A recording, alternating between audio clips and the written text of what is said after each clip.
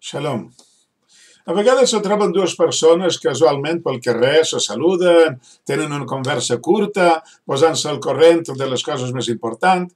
Així se poden trobar casualment algunes vegades, però si se tracta d'un home i una dona que volen començar una relació seriosa, diríem que no pot basar-se en trobades ocasionals al carrer.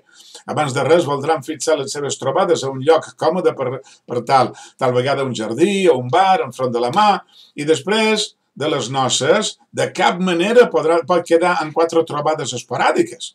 Així talment les nostres trobades amb el Creador. Fins a l'arribada dels patriarques tot eren trobades esporàdiques entre persones singulars que tenien relació, una relació especial amb el Creador. Els patriarques les, les convertiren en reunions serioses i encara mancava un lloc. La mudança del poble amb la d'Egipte és la construcció d'un lloc on concorre amb el Creador. És el significat que dona la Torah al tabernàcula. Tenda de reunió, i així ho explica també el Cosarí. I encara era un lloc portàtil, sense arrels.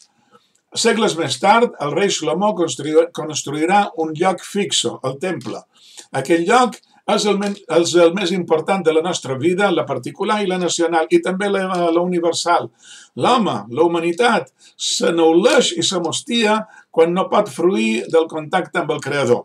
Nosaltres, el poble d'Israel, som els responsables d'aquest lloc que fa més de 20 segles que no està actiu, que ha arribat l'hora de renovar.